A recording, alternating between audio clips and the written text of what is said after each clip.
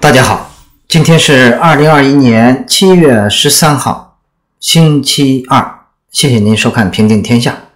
刚才在片头之前，我特意放了一小节的音乐。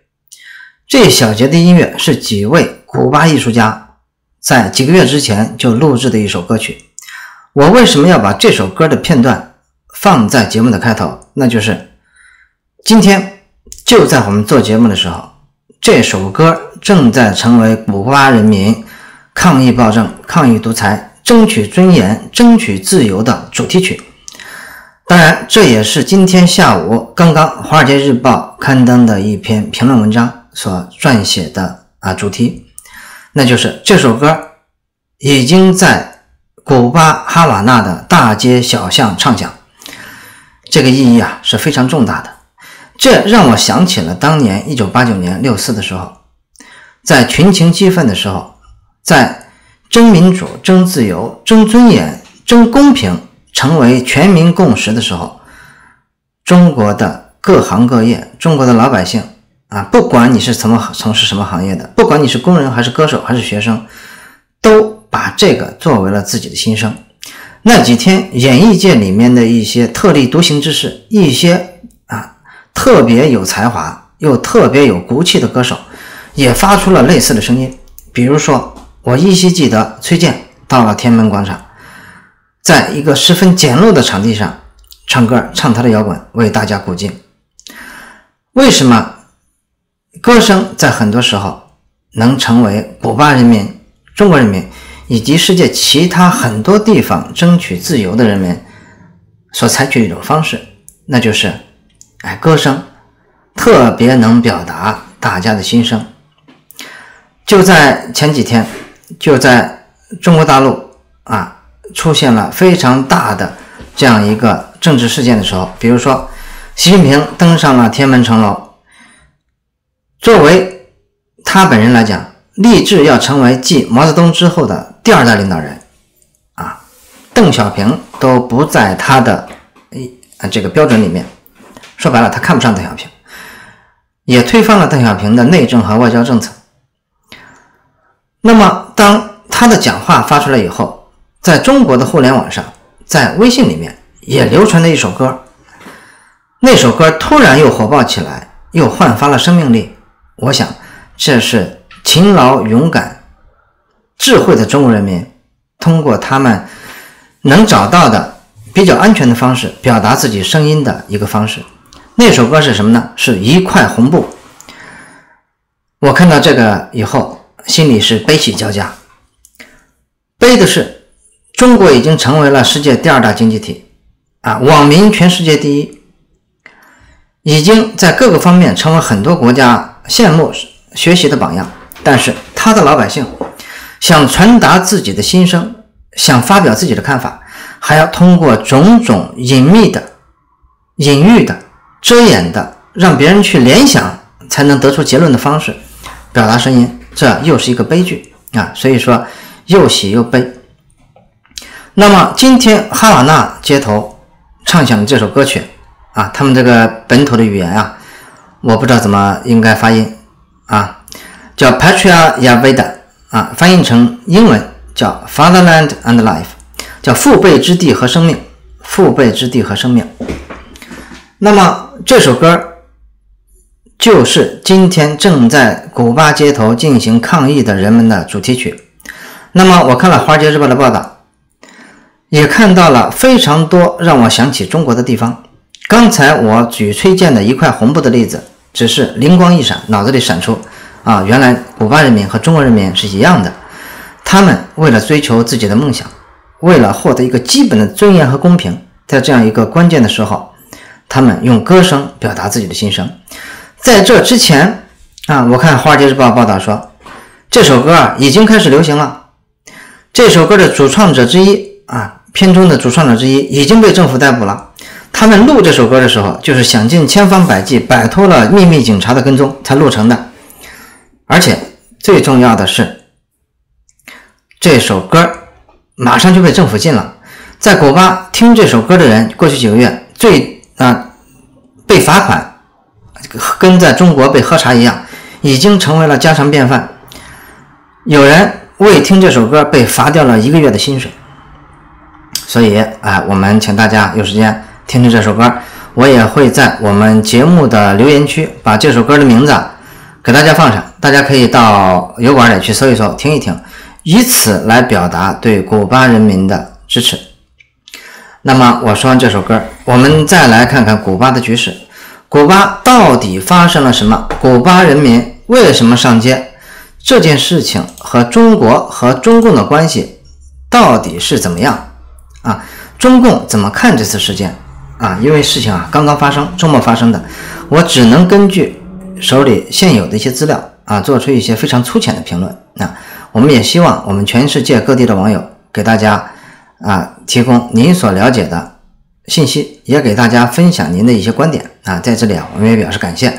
我们更欢迎您关注我们这个频道啊，做油管不容易啊。我们在天天在忙完了生计以后啊，还要这个。绞尽脑汁，哈哈，把别的事情都放下啊！五分钟吃完晚饭，坐在电脑前，跟大家分享我们对世界各地这种时事的看法。我们也希望得到大家的支持，请您关注，也请您分享，也请您给节目点赞，我们对你表示感谢。那么这次，古巴从七月十一号开始爆发了这几十年间罕见的抗议运动。古巴民众上走上街头，高呼自由。这个局势啊，也引起了全世界的关注。这个事情会不会像前苏联一样，让古巴共产党政权一下就轰然倒塌啊？当年苏联那可是太出乎大家意料了，本来那是恨不得要活几百年、几千年啊，全世界都害怕，美国呃也是。几十年如一日啊，和苏联抗衡，但没想到他自己一夜之间就倒掉了。那么这一次事情发生以后，有哪些地方古巴的反应和中国是一样的啊？特别有意思哈。第一个事情就是赶紧怪美国啊，赶紧卖怪美国。我们看一下啊，抗议发生以后，美国总统拜登在周一发表电视讲话，表示古巴人民是在争取自己的基本权利。美国会坚定地与古巴人民站在一起。他还呼吁古巴当政者倾听人民的声音。哎，那么我们看一看，古巴现任总统卡内尔也在当天发表演讲。他说，古巴民众抗议是因为美国多年的经济制裁所致，同时还谴谴责少数反革命分子在社交媒体煽风点火。哎，你看，他一下就把两点点出来了：第一是美国搞的，这又是美国干的。第二一个又是是社交媒体搞的，就像阿拉伯之春一样。那那么对他这个说法，我们看看啊，比较权威的人士是怎么说的？美国佛罗里达国际大学古巴动议啊，Cuba Initiative 古巴动议项目负责人马丁帕卢什啊，他表示不赞同。他说这种说法显然是错误的。他说古巴今天发生这个事情。并不是因为美国啊专门做了什么，那这么说呢是有它的道理的。最近这个事情我们看不出来是美国特意策划、特意来组织的，为啥？我们看看刚走上街头的古巴这些民众的反应，古巴民众的这些啊这个游行的方式。刚开始的时候啊，我扫了一眼电视机，哎，街上的人啊就是松松垮垮的啊，人数很多，但连个横幅都没有啊，连个。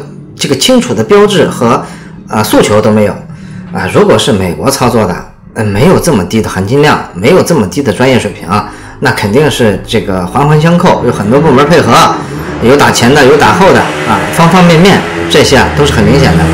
当然，事情发展很快，到今天啊，你看就有这首歌出来了，也有少数的这个啊一些啊横幅啊旗帜啊都打出来了。一开始没有啊，一开始有明显的。自下而上的草根色彩。另外一个，要说长期以来和美国没关系，那也不现实。和美国确实有关系，因为美国多年的经济制裁一直没有撤销，到今天还在制裁。但是，古巴总统卡内尔这么说啊，有点耍流氓，跟中共当年这个八九的时候说那些话一样。这些事儿和美国有什么关系？是不是？你自己没搞好啊，这也跟习近平现在说的这个，在天安门城楼上说啊，有人如果在奴役我们，再来欺负我们啊，十四亿中国人民组成的，血肉组成的铜墙铁壁，会让你们碰得头破血流。呃，对不起，拜托啊，老百姓看不起病，上不起学，公务员油水多啊，这个钱多事少，离家近啊，权高位重，责任轻。睡觉睡到自然醒，数钱数到手抽筋儿，这样好的工作都是谁拿去了？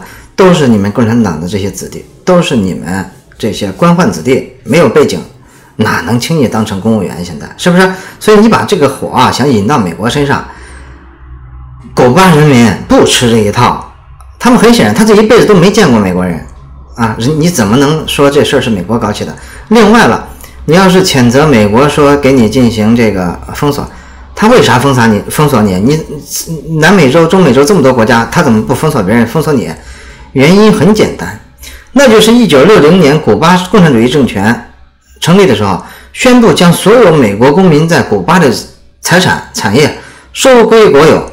哎，流氓就是用枪杆子的名义去抢钱，啊，把人家的财产、企业啊强行充公，这导致了一九六二年。美国开始对古巴进行全面的禁运，这个禁令已经延续了近六十年。古巴也经常谴责美国的禁运造成本国经济困难。啊，你看看到没？这和共产党一样啊，永远都是千错万错都是别人的错啊。美国禁运给我造成困难了啊，美国提高关税造成了我们出口出口困难啊。美国的贸易战是他们一手挑起来的。哎，拜托啊，美国为什么要打贸易战？美国为什么要封锁古巴？你怎么不说六零年的时候你们把人家的所有的财产都充公了这个事儿？所以，哎，从这个角度讲，古巴人民不吃这一套，中国人民每口每滴每一滴都让他们吞进去了，他们认这一套，因为出于恐惧，不认不行，不认就要付出代价啊！不要，毕竟就要付出代价。你看，从古巴逃亡到美国的很多难民，有很多在美国成长起来的古巴裔的政治家。大家知道吗？那个啊，这个在南部的这个这个参议员这个 Rubio 啊，Rubio，Rubio 就是古巴裔的啊。他只是这 Rubio 这个经历说明了，这六十年来古巴的流亡者已经在美国啊登堂入室，人家是相当强大的一股政治力量啊。那么古巴逃往美国的难民和古巴政府的看法截然相反。他们说，即使古巴老百姓承受了经济制裁带来的负担，但他们仍然希望美国政府对古巴进行制裁。他们认为，只有削弱古巴政府的经济能力，才能削弱他们对内的镇压能力。啊，你看这话说的多好！这话说的是这个原作者啊，是公民力量创始人杨建立先生啊。这一点和中国倒也一样了。为什么？你看前段时间中美打贸易战的时候，美国提高关税啊，美国对。中国狠一分，对中共狠一分，啊，在美国的这些啊很多这个民运啊，或者很多其他方面的人士，都感到欣喜万分啊，都感到哎，离他们梦想那一天又近了一寸。这一点，大家是一样的。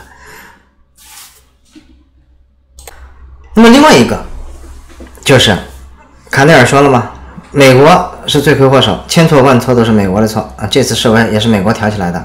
还有一个，他说社交媒体有人。煽风点火，那据我们了解，古巴这个社会啊，嗯，比起中共来，有一点做的不到位，那就是对社交媒体没有采取严防死守的一个措施啊，在他们国家，WhatsApp、Twitter、Facebook 都能用。哎，这一次同阿拉伯之春一样，又是很多古巴的年轻人采取了一个啊，用社交媒体来进行组织、来进行动员的一个工具。你看，这已经成了规律了。古巴这样。啊，香港当年也这样，啊，他们组织起来以后，啊，星星之火可以燎原，让古巴政府很难对付。但古巴政府啊，这两天学乖了，三下两下就把很多地方的互联网给断了，啊，社交媒体也发不出来了。所以目前为止，啊，古巴的情况出现了一个断层，我们并不清楚在很多关键的节点、关键的地方到底在发生什么，啊，这一点不清楚。那么。美国对古巴的制裁已经有六十年了，为什么到现在才爆发？啊，我想一个关键的几个关键的原因吧。第一就是社交媒体啊，让古巴的人民，尤其是年轻人啊，他们知道外部世界发生了什么啊。另外一个就是这一次的 pandemic 这个疫情，古巴新冠疫情情况很严重，而且还在继续恶化，这一点也加剧了古巴的经济困难。据 BBC 的报道，最近几周新冠感染人数的爆发式增长，让古巴体系啊医疗体系濒临崩溃。另外，古巴经济支柱是啥？旅游业啊啊！说起这个来，我个人也非常的向往，非常想去古巴转一圈儿，啊，抽一抽哈瓦那的雪茄啊。这个看近几年恐怕不行了，古巴旅游业几乎瘫痪，对全国经济都造成了巨大的影响，日常食品、药品、日用品严重短缺。啊，老百姓工资很低，买不起日常用品。古巴的说唱歌手，就像我刚才说过的这位歌手，他在自己的推特上说：“我们太饿了，我们吃掉了自己的恐惧。”很快，这位歌手叫尤某，在街头抗议活动中也被古巴警方逮捕。所以，哎，看到古巴的形势，中共啊那一波死硬派肯定心里特别高兴。哎，你看，中国模式就是好。啊，苏联倒了，谁谁谁都倒了，美国也不行了，只有我们中国模式啊，历久弥坚，啊，死硬不改。哎，外交部发言人七月十三号刚刚在例行记者会上表示了，说中方坚决反对外部势力干涉古巴内政，坚决支持古方在抗击新冠疫情、改善民生和维护社会稳定上所做的工作，坚定支持古方探索符合本国国情的发展道路。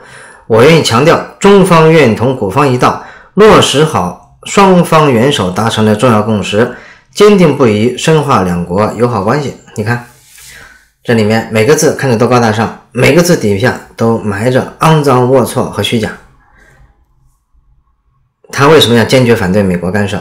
哎，这个事情，古巴这个地理特点以及历史上发生这些特点，都让中国甚至是俄罗斯。望尘莫及，太远了。古巴就是美国的后院。美国如果想动手，当然是得天独厚。在这一点上，古巴问题甚至比台海问题对美国来说更有优势，因为台海毕竟是在那边，是不是啊？中国离它近啊，折腾三年，中国可能折腾不过美国；折腾五年、十年啊，美国能挺得住吗？挺不住。你看这个阿富汗发生的情况啊，这就不用说了。哎，古巴如果。真有外部势力干涉，美国当然有先天的优势。中方这么说有点啊，这个吃不着葡萄要说葡萄酸，当然也是为了在国际上营造一个舆论啊，给美国啊干涉这个古巴的局势产生一点舆论上的障碍。但这种于事无补啊，后面美国到底要摄入到什么程度，要搞到什么程度，还要取决于古巴情势的发展啊。更重要的是，就是要看他们在国内这个呃古巴国内各个地方这个信息能不能顺利的传达出来啊？那像当年北京啊，当然北京也属于啊措手不及，让很多国际媒体就在天安门广场都去报道戈尔巴乔夫访华呢。哎，一看发生抗议示威了，就不走了，接着报，哎，一下让这个事情传遍了世界。古巴会不会学中国？你看，他已经开始学了。封锁社交媒体，啊，封锁互联网，这也让古巴的情况传到外界，增加了很多的障碍。所以啊，这个情况，美方、中方各有各的难处啊。那中方心里没有紧张的地方呢？那当然有，因为很简、很现、很现实嘛。啊，苏联倒掉了，有它特殊的原因；古巴也倒掉了，哎，社会主义小兄弟又少了一个，哎，这对国际共产主义运动啊是一个重大打击。对于要啊团结第三世界国家、团结发展中国家，要跟西方国家对着干，要让别人头破血流的西尊，那也是个打击啊！当然了，共产党的特点是啥？他们的特点就是，后脑勺都烂了，嘴巴都不烂啊！坚决不承认自己有任何责任啊！中方形势一片大好啊，这肯定还是他们啊持之以恒的一个叙事方式。另外，我们再来看看香港最新的一个事情。港大发表了声明，香港大学为什么呢？因为这个学校的学生会评议会日前通过了一个动议，悼念并感谢今年七月一号发生的刺警案主角梁建辉。他们称梁建辉叫为港牺牲。港大决定即日起不再承认该校学生会作为独立注册社团现有在校内的角色。声明还表示要严肃调查学生会评议会事件，并根据调查结果对涉事学生做进一步的处理。他这么做理由是，港大学生会评议会去感谢刺警案的主角梁建辉的这个举动，是公然美化暴力的严重不当行为。挑战社会的道德底线，损害整体港大社群的声誉和利益。今年七月一号是香港主权移交二十四周年，也是中国共产党建党一百周年的纪念日。在这样一个时候，中共下了重手，啊，实施了港版国安法。应该说是港版国安法实施一周年啊。由于泛民派。这些人物被捕或者出逃或者晋升，加上泛民组织的游行又遭到警方拒绝，所以当天政治气氛非常压抑、非常紧张，并没有发生大规模的游行示威。但是当天晚上还是发生了一个啊突发事件，一个意外事件，那就是在铜锣湾闹市区，一名男子突然拔刀刺向一名警员，导致该警员肺部刺穿。不过警员后来经过。啊，抢救没事儿。袭警的这位就是梁建辉先生，五十岁啊。他在刺警以后，拔刀刺向自己胸部，送院以后不治身亡。那么他在做这个事情之前，也留下了自己的遗书啊，坦率的向各界啊宣布自己这么做的动机，就是因为警察暴力实在是啊太难以忍受。那这个事情啊，哎，说起来。我心情也很复杂。港大学生会这么做，有被逼无奈的成分，啊，也有他啊心情啊，或者说他这么做有他一定的道理。比如说年轻人嘛，在这些不管是反送中，还是啊这个啊其他的战中这些运动里边，学生都是主力，但在那些声势浩大的。这个运动之后，仍然被中共用软硬两手的方式给打压下去了。硬的是什么？硬的就是出动警察抓人啊。软的是什么？软的就是通过所谓的合理合法的方式，通过国安法啊，凡是和外国人有勾结的，但这个勾结要打要打引号。你像那个啊，很多号称说和美国有勾结的。我在以前节目里也说过啊，他你看美国领事馆就香港领事馆和他们这些人啊见面的时候，竟然选在了酒店大堂。那个几个学生负责人去参加这个会的时候，就穿着个大短裤，穿着个拖鞋就去了。那对美国人来说，美国人理由就是啊，这就是个例行公事。你看，我们美国在美国有在中在香港有这么大的领事馆，香港发生了这么严重的事件啊。不管你我赞成谁，我总要找当事人了解一些情况。如果我想搞阴谋的话，我拉到楼上开会不行吗？我进入大使馆不行吗？对不对？但是就在酒店大堂，人来人往，lobby 里面啊，找这几个人啊，黄之锋啊，记得我刚才说的是黄之锋，穿着大短裤就去了，好像刚吃完早点啊，嘴角还貌貌似还有这个豆浆和油条的痕迹啊。但这些事情一旦动了国安法，都会当做。违法勾结外国势力的证据，所以中共也是搞运动出身的，所以他们收拾起香港的学生来，啊是没跑的。所以在这个方面，香港学生会是应该被同情的。但是这个问题就在于，你们用这种方式，用学生会的这个名义来悼念梁建辉，那确实与港大。我想，绝大部分的学生或者是教职员工，啊，他们都不会同意啊。而且这一点特别容易成为中共去进行大外宣、对香港的民主运动进行抹黑的一个工具。哎，你看，我还没去仔细去查，但我想肯定了，因为这个啊，《环球时报》《人民日报》啊这些中央电视台又说，你看中央在北京搞国安法，合情合理吧？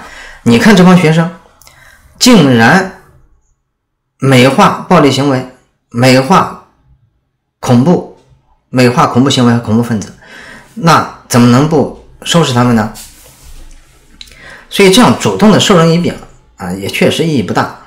当然，我这么说，也许也许有人会骂啊，你这叫投降主义，怎么怎么样？啊，这个这个名字啊，这个标签都无所谓。我至今仍然想起啊，胡平先生当年在这个香港战中的时候。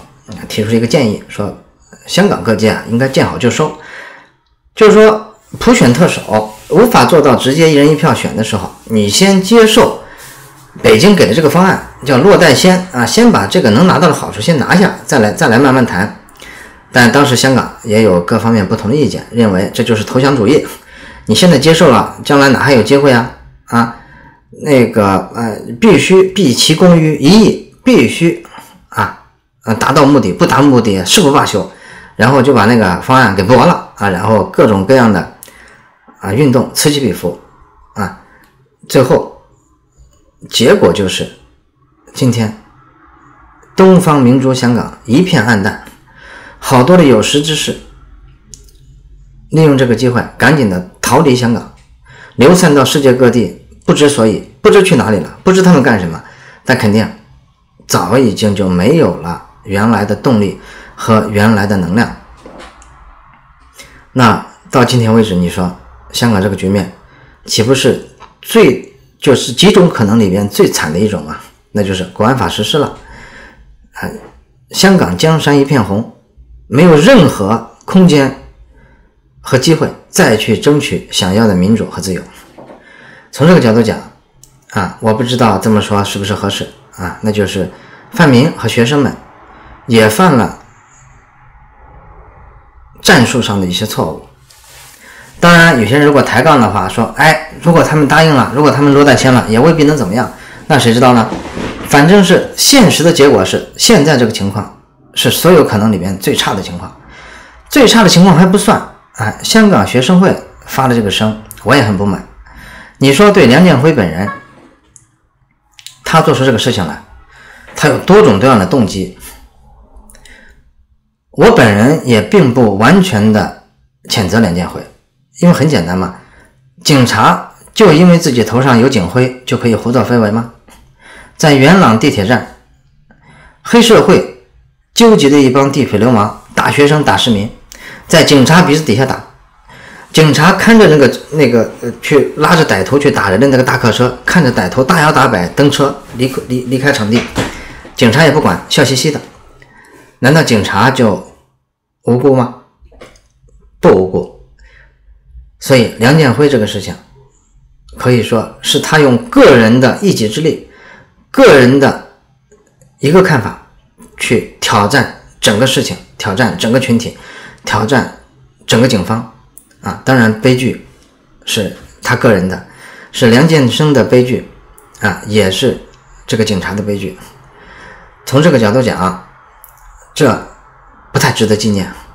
如果纪念表示同情的话，如果对梁建辉这个人表示同情，也应该是个人表示同情，因为他毕竟毁了一个家庭，本人也也也丧失了自己的生命。这不管从哪个角度讲，都是一个十分可惜的一个事件。但是港大学生会这么发生，哎呀，给人感觉就是叫一条道走到黑啊，就打死不认这壶酒钱，这非常非常的可悲，这会导致。香港大学的学生会，尤其是这波港籍的学生，会在将来多少年之内，会过一种暗无天日的生活。香港不会接受你，中国大陆也不会接受你。你到英国你能干啥？你到美国你又能干啥？啊，这个不能不说是一个非常悲惨的一个结局。那么看到这个事情，也让我想起我最喜欢的台湾诗人席慕容的一句诗。放之四海而皆准。他说的是：“难道青春注定愚昧，爱必得忧伤？”好，这就是我们今天的节目。我们再次欢迎您给节目点赞、打赏，也给节目啊分享到更多的朋友那里，关注我们这个频道。我们明天再见。